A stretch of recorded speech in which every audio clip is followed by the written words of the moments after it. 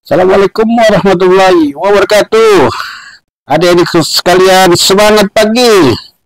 Oke, salam jumpa atau kembali berjumpa kembali dengan Papi Tetuko di channel Semua Pasti Pintar. Channel yang membahas bagaimana kita belajar matematika dengan cepat, tepat, dan benar.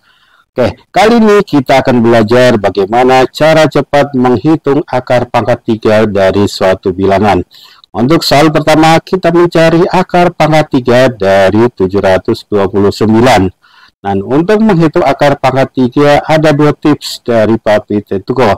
Yang pertama adalah, untuk angka puluhan dan ratusan, jawabannya itu adalah satu digit atau satu angka atau itu adalah satuan. Kita lihat di sini 729 itu masuk kategori ratusan, maka jawabannya sudah pasti adalah satu digit. Nah, ini adalah satu digit. Kemudian, tips berikutnya adalah ingat angka 0, 1, 4, 5, 6, dan 9.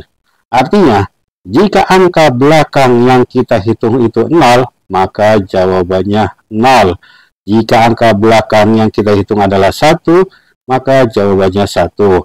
Kemudian jika angka belakang itu 4, maka jawabannya sudah pasti 4.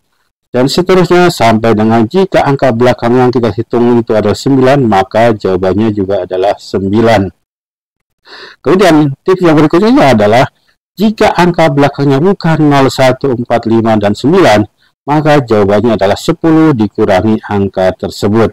Nah, sekarang kita lihat Angka yang kita cari adalah 729.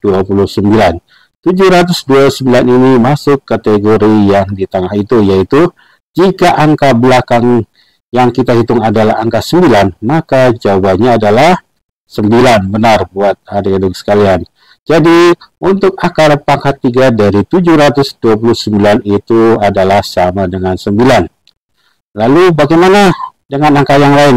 Kita coba lagi angka yang lain itu adalah akar pangkat 3 dari 125. Ingat, tips yang pertama, untuk puluhan dan ratusan jawabannya adalah satu digit atau satu angka artinya adalah satuan. Karena 125 ini masuk kategori ratusan, maka jawabannya adalah satu digit. Kemudian, berapakah angka dari satu digit ini? Kita ingat tips yang kedua yaitu ingat angka 0, 1, 4, 5, 6, dan 9. Dan ini 125 angka belakangnya adalah 5, mas, maka masuk kategori ini. Artinya apa? Artinya, jika angka belakang yang kita hitung adalah 5, karena ini 5, maka jawabannya adalah 5. Maka akar pangkat 3 dari 125 itu adalah sama dengan 5. Nah, adik-adik untuk mengkonfirmasi apakah jawaban dari akar pangkat 3 dari 125 itu sama dengan 5 adalah benar, Adik-adik kalikan saja 5 dikali 5 dikali 5 apakah 125? Hmm, kalau kita cari itu sudah pasti 125.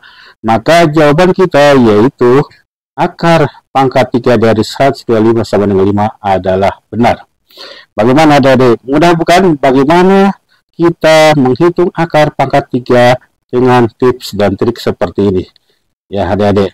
Semoga uh, materi kali ini bermanfaat bagi adikku sekalian dan untuk berikutnya Papi akan memberikan lagi bagaimana cara cepat menghitung akar pangkat 3 sampai dengan ribuan, puluhan ribu dan sampai dengan ratusan ribu. Sekian dari Papi Tetiko, semoga bermanfaat. Wassalamualaikum warahmatullahi wabarakatuh. Tetap semangat untuk belajar.